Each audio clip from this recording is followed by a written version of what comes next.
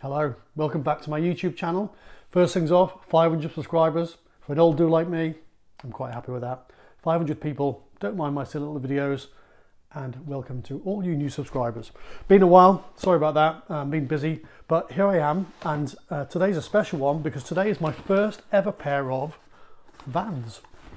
Uh, you know what they are because you can see the title, um, but my daughter loves Vans, she's got some yellow ones, um, and Vans have never really appealed to me. It's obviously a kid's sneaker or a kid's trainer, but these ones are different. Now these ones are different because I am a NASA slash space geek. I have the watch. This is the watch that Neil Armstrong and Buzz Aldrin wore on the moon. Uh, I have the book, and I've got much, much, much more Apollo paraphernalia. Now, we'll talk about Apollo versus shuttle because there's a slight difference on these uh, sneakers. Um, but let's get into them. Let's have a look at these little beauties. These are the uh, Space Voyager in true white from the new Vans collection. Uh, let's have a look.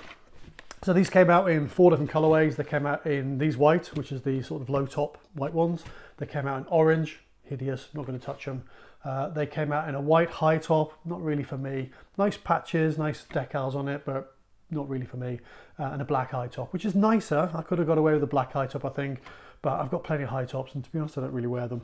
Um, and you know, these are just nice. So let's have a look. So first thing I think that's a bit of a disappointment is it, unlike say the Mars Yards, which are probably the, you know, again quite close to these as a, as a kindred spirit, this is just a bog standard Vans box with a sticker slapped on the side. So nothing really special about the box. That's unfortunate, I think. They could have done a bit more with that with a Moon Special Edition. Uh, here we get them out, out there, and we've got one left and one right. Get rid of the box because there ain't now special about that. So here they go. Uh, we have the two sneakers here. So let's have a look at some of these special features. We'll just pick one of them because they're more or less the same for each one. Um, so this is the um, like a joint collab that was done with NASA and Vans.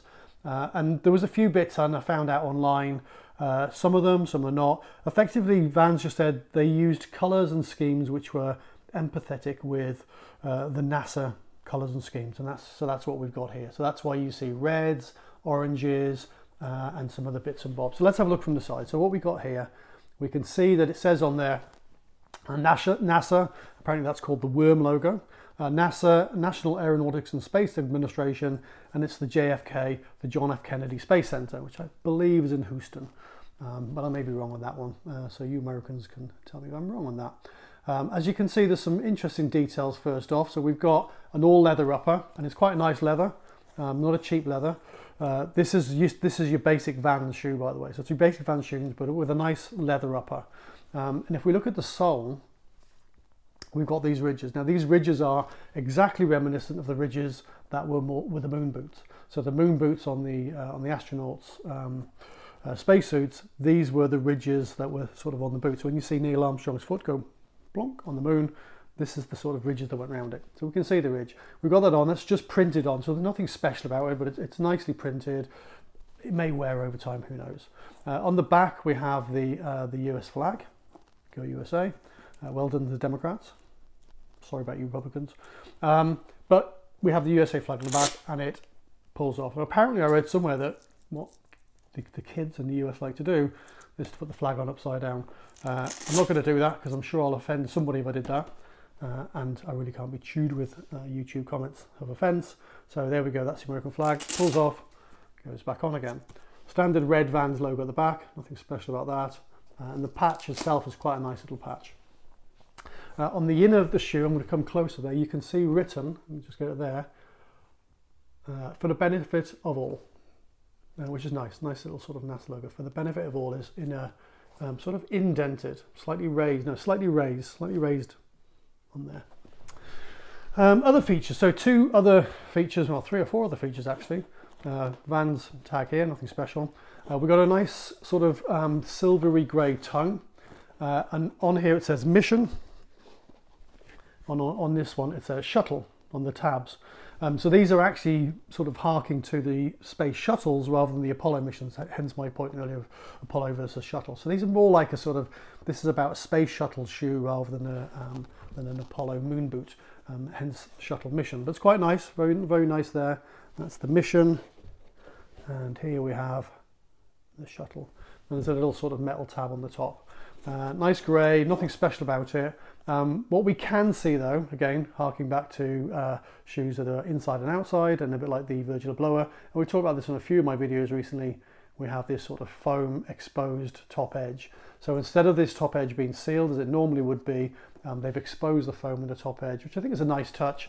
And again, it's uh, you know it's sort of Mars Yardy, it's Virgil Abloh it's um, you know none of them the first, and they're not going to be the last, but it's really quite on trend with, with sneakers in the last year or so. So we can see that. Uh, and then the final point, there's nothing special about the laces, set of white band laces. And on the inside, we have a nice insole, uh, and this is, I believe, the command module.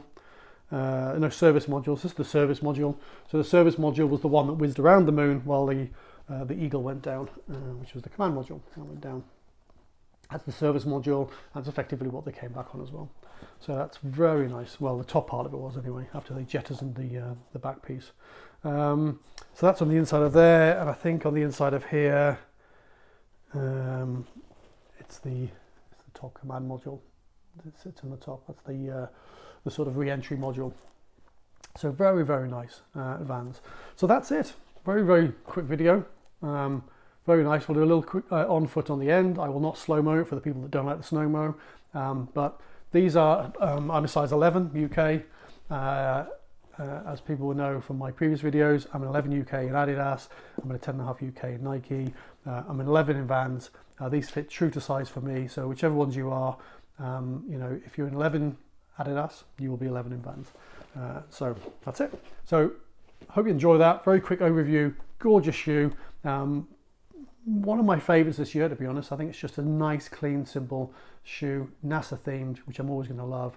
Uh, love it, love it, love it. So there you go.